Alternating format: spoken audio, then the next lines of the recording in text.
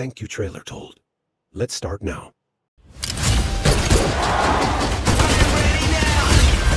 In the year 2100, an underground combat sport captures the heart of the city. Black market duality tech allows competitors to swap between multiple bodies at the same time. One mind, two bodies.